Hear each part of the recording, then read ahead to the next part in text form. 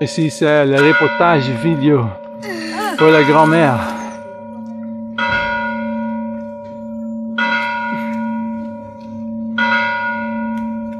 Ah bon, madame la directrice.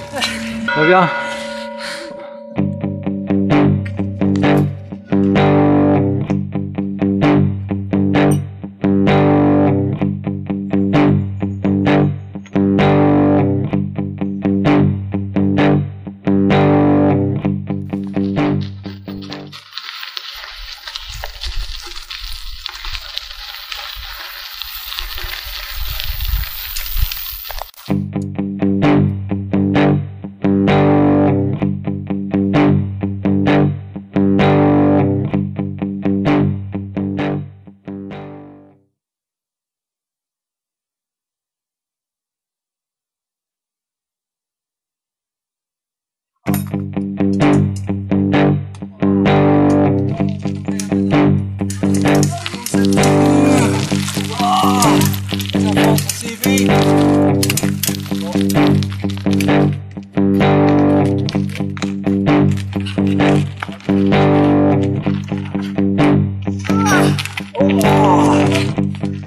ne peut pas faire.